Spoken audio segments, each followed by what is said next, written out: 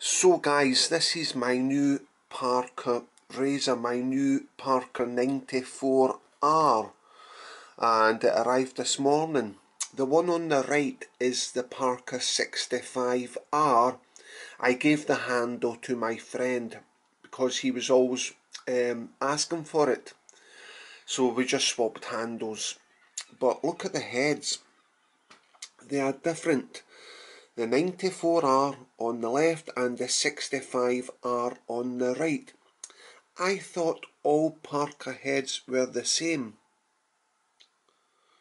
But not. And if I turn them over, mm, one moment please. I think that also gives a clear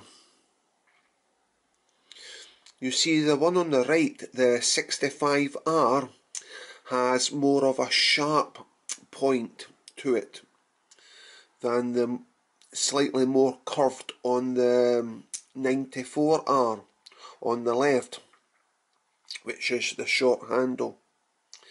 And around this area it gets a bit it feels a little bit jaggy. You know not so smooth a bit jaggy but is that just is that the same with every single one? And one big thing that I have just noticed on the 65R one moment you can see it says India. But it doesn't say India anywhere on the 94R no India sign is stamped. I bought it from the Modern Man. Also these blades I bought a pack of 200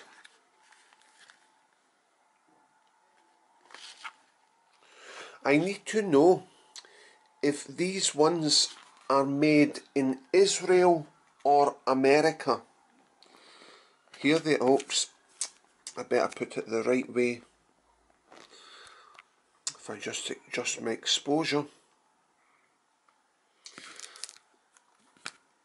Are these American or Israeli?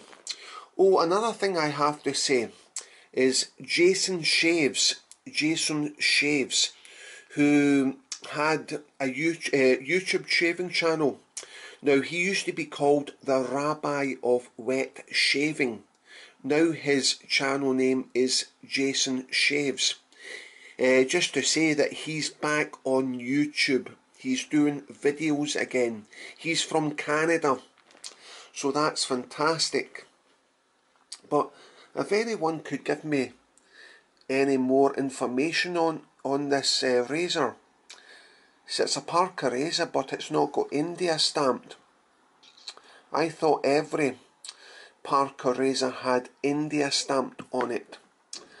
And um, oh also the you know the bar slightly different to the 65R bar slight difference can you see that hmm so his Parker changed um, at the end of this video you will see photographs I have put up between the two heads. But look at that difference. Hmm. But anyway guys, but I also need to know what country these blades are from. Are these from Israel or America? Because I hear many people saying the blue ones are American and the red ones are Israeli. But someone told me these blue ones I have are from Israel. You know, all in, I got the razor plus the 200 um, uh, blades for £30 and 10 pence.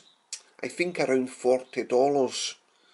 Anyway, guys, thanks very much anyway, and I hope that you um, give me information which I require. But please look at these photographs. Here are the photographs.